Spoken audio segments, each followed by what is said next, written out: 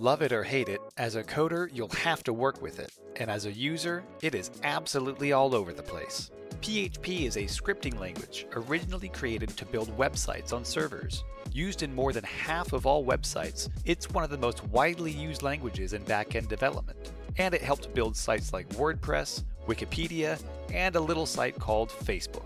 PHP was released in 1995 as a way to make web design more accessible, and while it is relatively simple for a developer to learn and start coding with, its loosey-goosey structure can be difficult to work with if you're looking for coding consistency.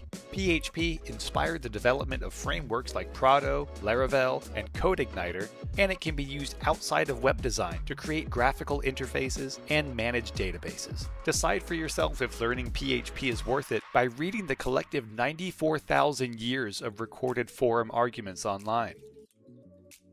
Check out more nerdy history and tech talk by following Howdy.com.